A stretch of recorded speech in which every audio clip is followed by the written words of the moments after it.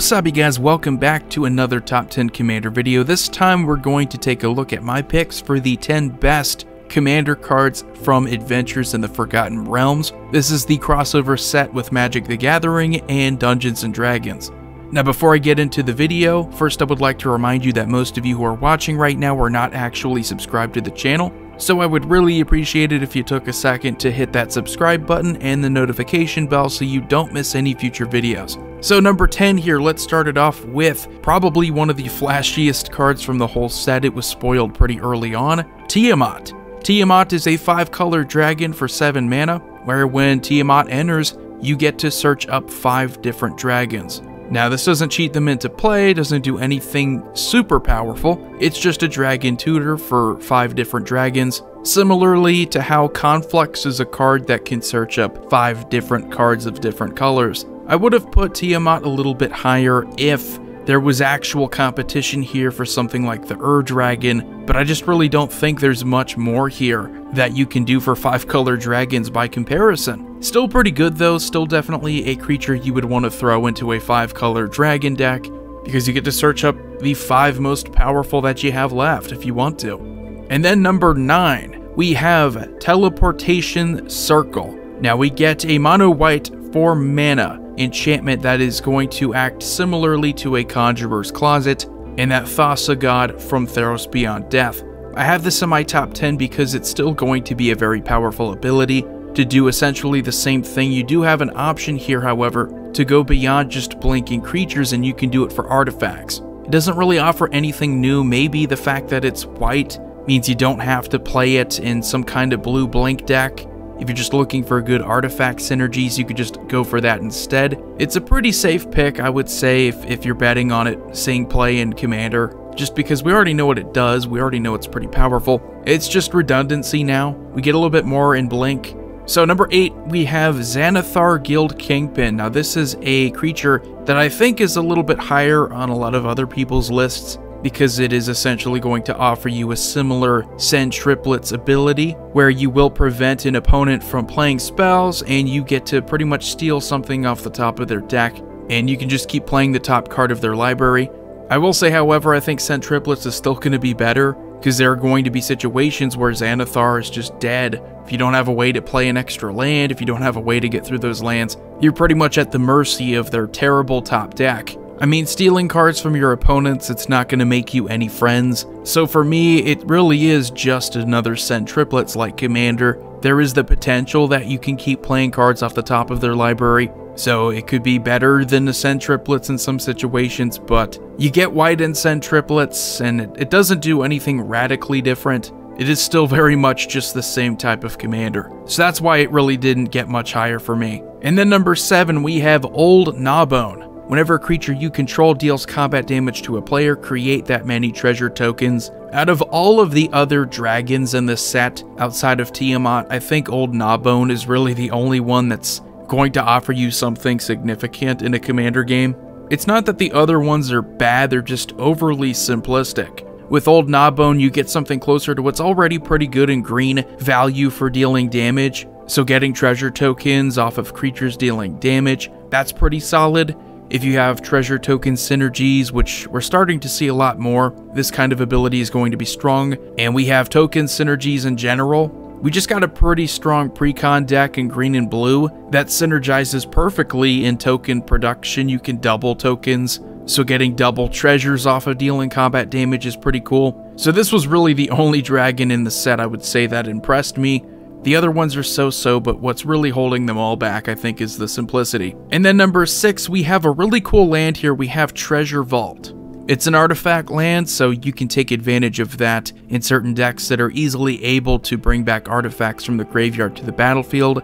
You can pay double X and tap it to sacrifice it so that you create X treasure tokens. This isn't something I think is close to being competitive, but again, we are going to see a lot of treasure synergies, and I think having this ability on a land, it's something I don't think we've ever seen before. I don't think we've ever had a land that will ramp us quite like this. Or not necessarily ramp, but if you have any kind of treasure token synergy, and you just need to, out of nowhere, get yourself a handful of tokens, this is a good land. And we have some other pretty good lands too. I do like the man lands in this set. Manlands are great because they can ambush your opponents. I think any kind of land ability can ambush your opponents because lands tend to be underwhelming, but you occasionally get some like these that can offer you some pretty good value out of nowhere. And then number 5, we have Volo Guide to Monsters. Whenever you cast a creature spell that doesn't share a creature type with a creature you control or a creature card in your graveyard, you copy that spell.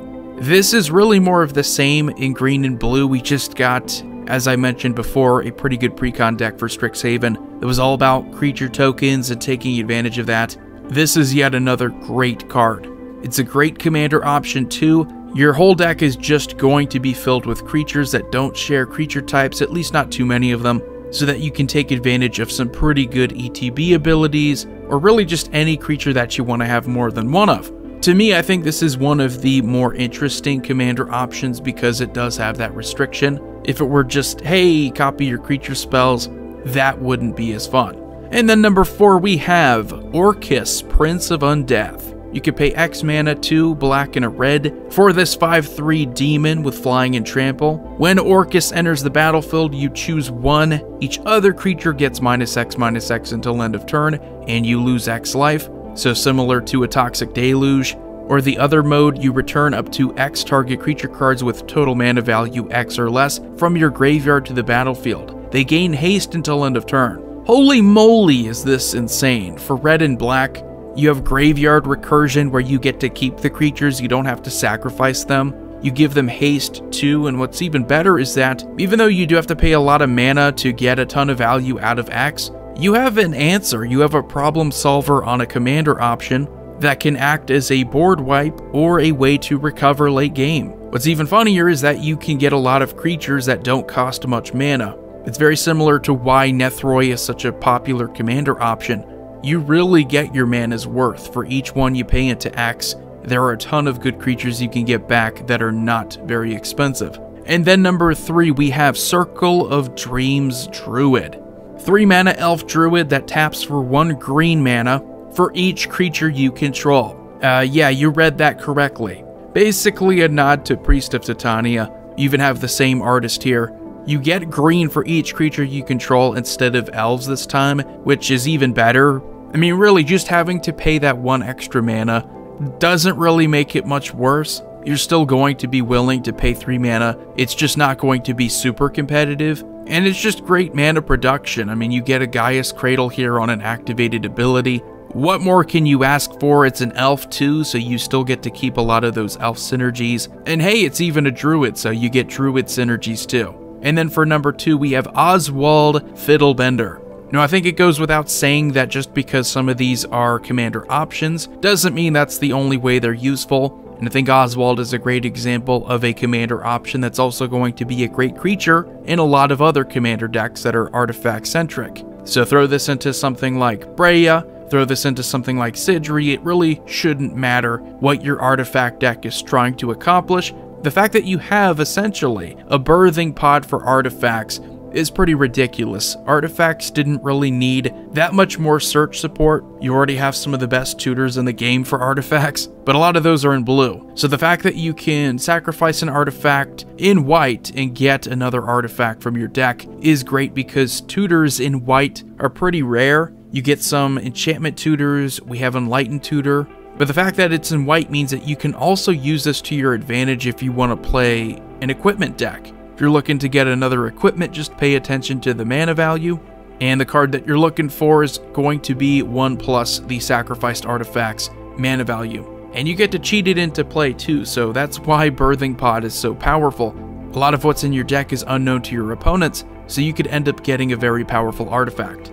Now, before I get to number 1, let's talk about some honorable mentions here. We have the Book of Vile Darkness, this synergy here that we have with the Hand of Vecna, and the Eye of Vecna, the fact that you can then get Vecna off of that activated ability is really cool. I always like these cards where you have several different pieces involved and you have to kind of unite them to get the strategy going. It's a nice little game within the game, but individually, I don't think any of these are super powerful. The book does make it so that you get some zombie support, so if you're looking to trigger that, it might be useful for your deck. We have Minsc, Beloved Ranger. I think it's a pretty cool commander. You can make that hamster into something menacing and then deal some damage with it. It's not commander damage because the token's not your commander, so that's a little weird. But that ability is pretty cool. I could definitely see some commander decks taking advantage of that. We have Skeletal Swarming. It's a cool card. I like the concept of a swarm slowly building up, but uh, in Commander, this might just be a little bit too slow. We have the deck of many things. This is another cool one. Really does benefit you if you have a low hand size. So it's one of those weird cards. It's situational in the sense that if you're ahead in the game, it's pretty much dead. But you do get these really cool cards where if you roll a d20 and you hit 20, you get the best possible outcome. Kind of like with Dungeons and Dragons. So number one, the number one card from Adventures in the Forgotten Realms is Asmodeus the Archfiend. This card is ridiculous. Combining things about Griselbrand with Necropotence, you get something that is going to be very competitive. It's almost like Wizards of the Coast specifically used Griselbrand and then tried to figure out a way to make that fair, but the end result is still a creature with a crazy card draw ability. So this legendary devil god has an ability called Binding Contract. It's a trigger. If you would draw a card, you exile the top card of your library face down instead. But you have these activated abilities, which makes this not so bad. You can pay 3 black mana to draw 7 cards, but you're not going to draw them, of course. They're going to be exiled face down because of that first part. And that second activated ability for 1 black, you return all cards exiled with Asmodeus the Archfiend to their owner's hand and you lose that much life. So imagine if instead of just paying 7 life to draw 7 cards with Griselbrand, you had to pay a few black mana. That's essentially what Asmodeus the Archfiend is. You have pretty much the same exact outcome, there are just some downsides here that were added to make it a little bit more balanced. So you have to then pay that mana to retrieve the cards, rather than just pay the life to get the card straight up. And you have to keep paying that mana if you want to get the cards that are going to be exiled every time you draw cards. That, however, in my opinion, is not enough to keep it from being an incredibly overpowered creature. Griselbrand was 8 mana, this guy's only 6, so it's definitely going to cause a lot of headaches. And hey, because the activated ability, it's all black mana, you can use Kyrix and a Yawgmoth. Pretty insane. So anyway, let me know what you think about Adventures in the Forgotten Realms and my 10 picks for the best cards. As always, subscribe, like, comment, share, hit the notification bell so you don't miss any future videos. Void here signing off. I will see you next time.